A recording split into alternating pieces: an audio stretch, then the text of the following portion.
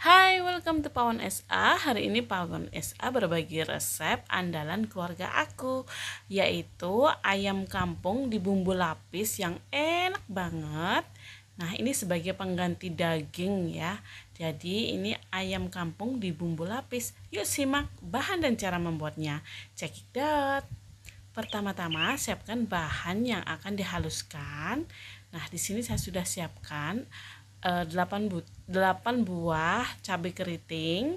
Dan untuk cabai rawitnya ini opsional ya. Kalau mau pedas boleh ditambah. Kalau sumber ya sedikit aja.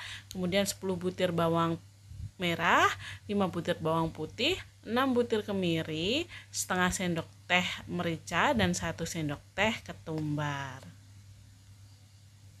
Dan ini bahan empon-emponnya. Ini terdiri dari dua e, batang serai, satu ruas jahe, 5 lembar daun jeruk, 3 lembar daun salam, terus um, gula merah secukupnya, asam jawa 1 sendok teh. Dan di sini aku pakai santan instan ya. Kalau mau pakai santan segar juga boleh dan kecap bangau. Nah, ini kecapnya nanti aku pakai dua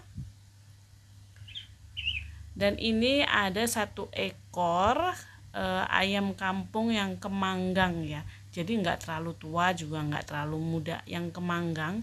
Ini e, matangnya juga lebih cepat. Pertama-tama panaskan minyak sedikit aja ya.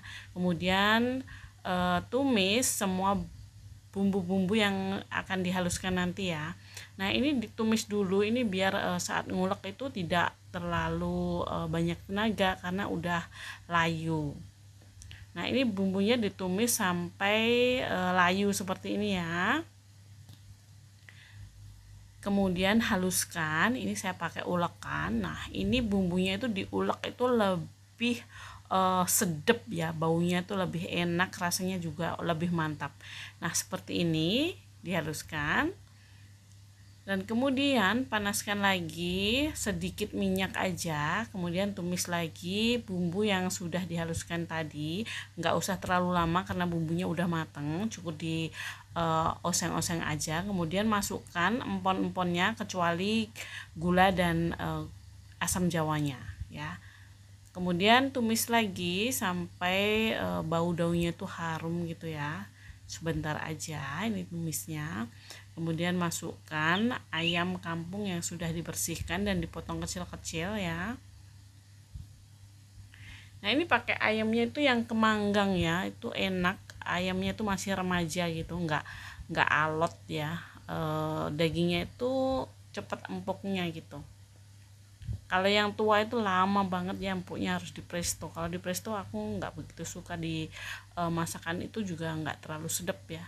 Nah ini masak lagi ditumis-tumis gitu ya. Kemudian tambahkan air. Nah ini saya tambahkan sedikit dulu. Kemudian tambahkan gula dan asamnya. Aduk-aduk rata kembali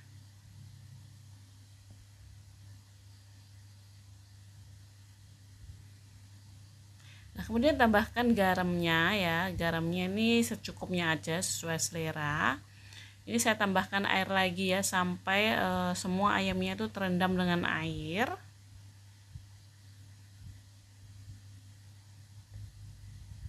Kemudian tutup. Masak hingga setengah empuk ya ayamnya. Nah, ini ayamnya sudah setengah empuk kemudian masukkan kecap manisnya. Ini saya pakai dua saset ya. Kalau satu saset kurang boleh pakai dua saset atau tiga saset.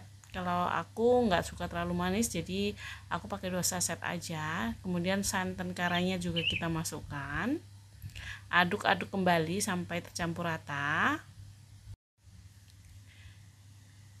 aduk rata terus kemudian eh, biarkan ayamnya itu terendam dengan air kemudian tutup masak dengan api kecil sampai ayamnya itu empuk ya benar-benar empuk dan bumbunya menyusut ya seperti ini. Dan bumbunya ini semakin kental ya. Dan ini wangi banget jangan lupa koreksi rasa sudah cukup asin dan manisnya atau belum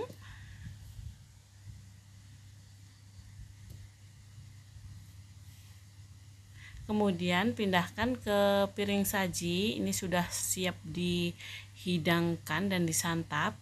Dan taburi dengan e, bawang merah goreng ya biar tambah sedap dan tambah mantul. Ini siap disantap. Ini kesukaan suami aku. Ini mantul banget. Bunda-bunda wajib coba di rumah. Oke sekian dulu resep dari saya. Semoga bermanfaat. Sampai jumpa video yang akan datang. Bye bye